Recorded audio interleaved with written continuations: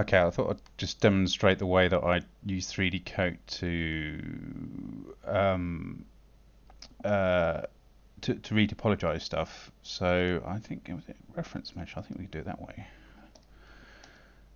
Okay, so here we go. There's the then enter over to retopology,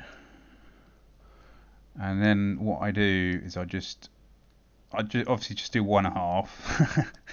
that would seem to be a sensible thing to do, wouldn't it? Um, and then do really, really massive, as big as quads as you can comfortably get away with. I mean, it don't worry about it not, because um, I'll show you the, the trick um, in a sec. Um, once we've got some something there. Okay, can we? Oh. Um, so we've got some stuff there, and so you can use this um, split rings, which like edge loops, I guess.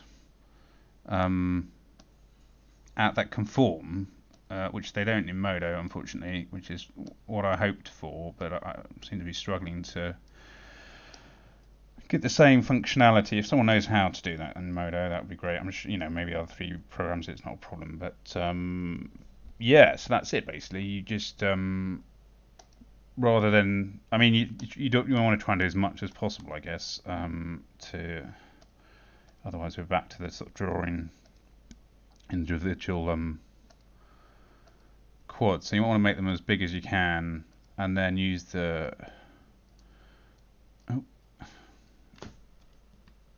use the um, split um, split uh, what's it called it split ring command to add the detail, and then that saves you all the time that you would have spent doing individual there is a way of hiding the um, reference mesh to make it a bit easier to see what you're doing. Um, I forget exactly how, but it was mainly to show this principle of doing a, a super low res, uh, so much lower res than you would actually want, and then use the um, the edge loop feature to, uh, or what's it called, split ring feature to um, to add the geometry. I, again, I shouldn't have I shouldn't have gone quite as mental with the.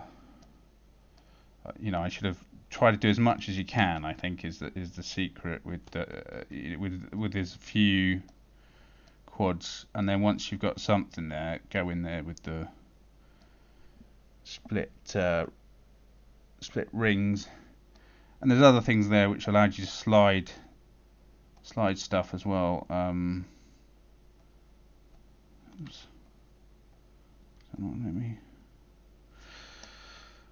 Um, okay, so and then we've got um, so let's say we want to join. Let's put some. So here we go, split ring. And maybe put another one in there. Um, and one on the deltoid pectoral, collarbone, and then we'll go back into the other thing and join them up.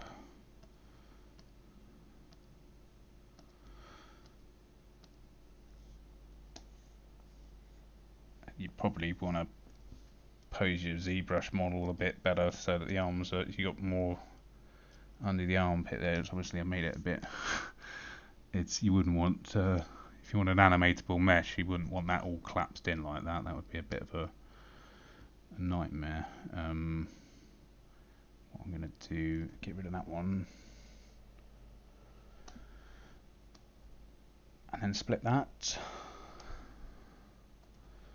And then add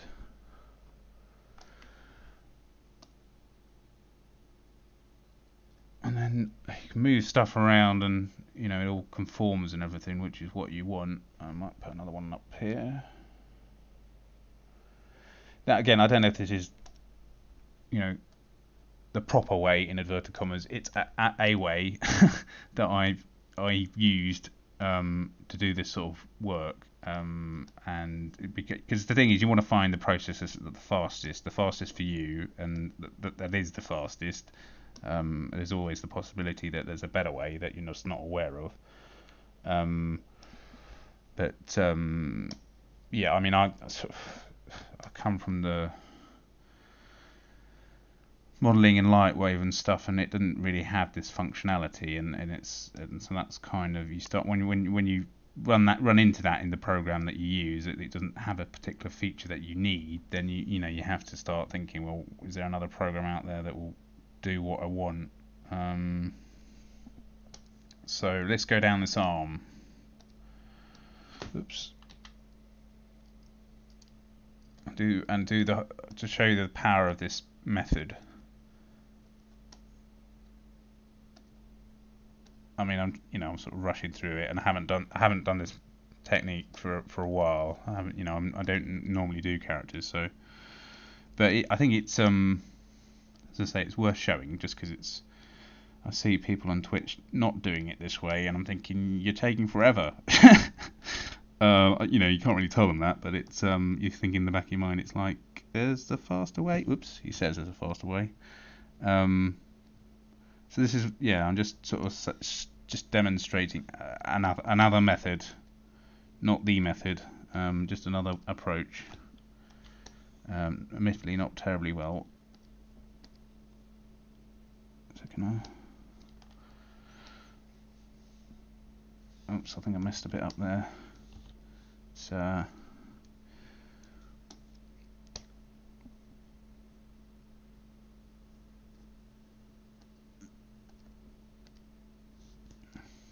let me.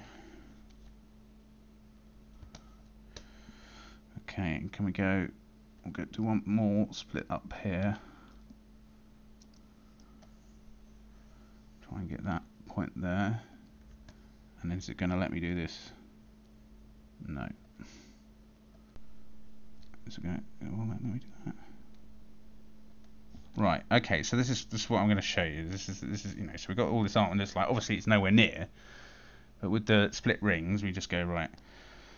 Elbow, forearm, um, bicep. Um, needs more detail in here needs more detail on there. Just start going for all the, the places where it's obviously there's not enough geometry. Need some in, in here. And there you go. You see, that's I think quite quite a lot quicker than going and doing each individual. I mean, it's not going to work for everything. When it gets really complex, I mean, it's it's worth, I guess, you know, working around the sort of flow here we go with the neck, for example, and do a separate thing, and, and go maybe around the base of the skull as, as the next thing. Um, but to get a bit more detail in there, um, then say like, okay, so we got that. Okay, that's fine. So now we'll just use the split. Uh, why is that not? okay, it's been a bit weird now. Typically. Um, I don't quite understand why it's not let me. Try that again. Add. Nice big, super massive, just to drive the point home. It's you know it's getting the computers this constraint thing, um, background constraint, or you know the your topology mode, whatever it's called, in your application to to work for you. So if you can't do this, the split ring thing, you know, you have to kind of think, is it worth, since you know, how, how much time this is saving, um, you know, is it worth considering switching um, to a dedicated topology program? And, you know, there's a lot of stuff that 3D Coat can do that I, I just don't use at all. I just use it just for this. Um, and you know it's pretty cheap, permanent license, of this rental rubbish.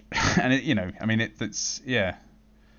So um, I guess we can go across here on the deltoid, just like your regular kind of method, I guess.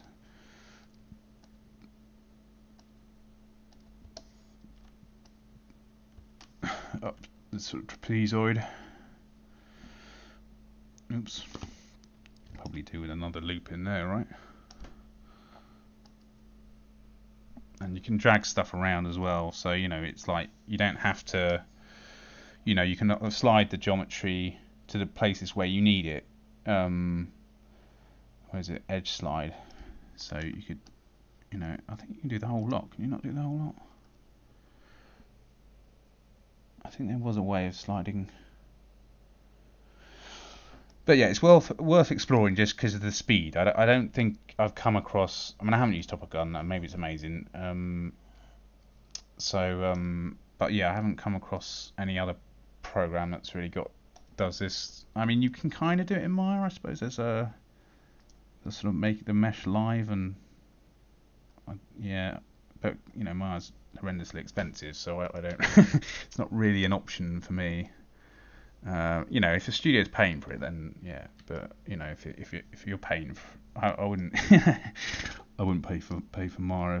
It's, you know, just can't afford it really. It's just, um, right. Split rings.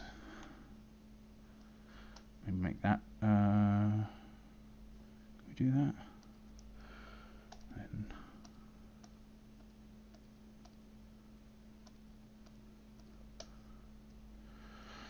run another one down here.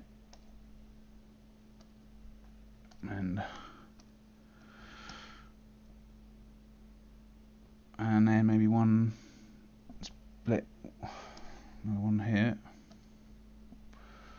um, and then we just join those ones together maybe can we oops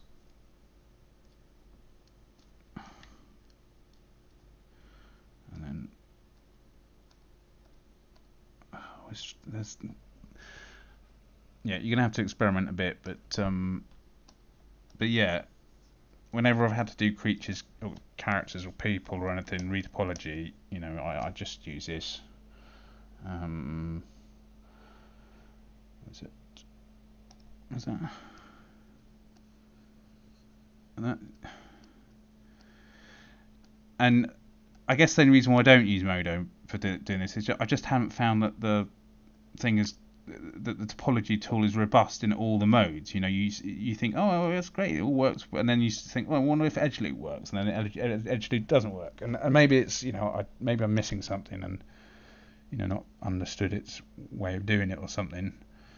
Um, but um, yeah, it's, it's, there's a lot to be said for programs, you know, using a program that's you know really good at one particular thing I mean, in an ideal world, you'd, you'd, you'd want it all in the same program, but in reality, that's that's rare that a program is good at everything. You know, that's why we've got ZBrush, I guess, right?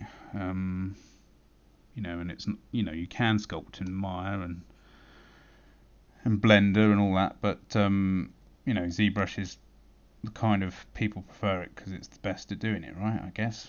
Um, okay, right. I'm going to stop there. Um, but yeah, just quick demo. Um, 3D coat, retopology. I think it's pretty good. It creates UVs at the same time. It seems to remember. If, uh, if I can, oh, I can't remember. I won't stray from the thing, but um, yeah, you see that's that didn't take me long at all. I mean, it's not brilliant, but you go in there and and just you know slide stuff around to make it follow the contours a bit more and whatever to to make it how you want it, right? Um, but the sort of underlying Um, I mean, there's I saw that was I forget what it's called now, but there was something for doing dealing with scan face scan data, and um, and that's also looks very interesting. I mean, that's a lot more new. It's like a I can't remember if this is like a ZBrush plugin or, or something, but it allowed you to get a scan data and just conform uh, conform a mesh to it. Mean, you can do that in in Modo, I seem to remember. Um, but yeah, if you're just building, if you haven't got a mesh to conform and you're build, you know, you're doing the retopology work, then it's like, well, you need something that, you know, I, I like using this, so that's why I'm sort of showing it really.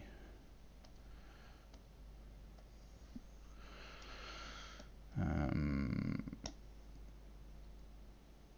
oops. And there you go.